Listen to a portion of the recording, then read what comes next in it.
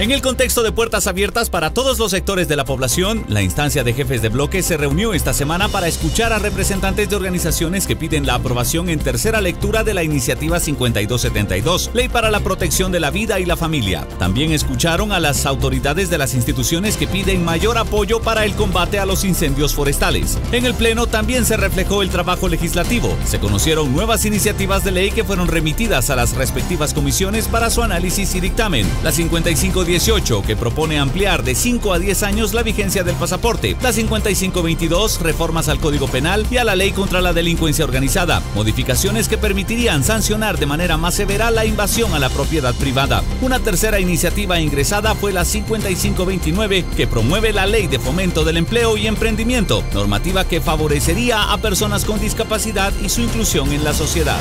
El Congreso de la República está trabajando para usted.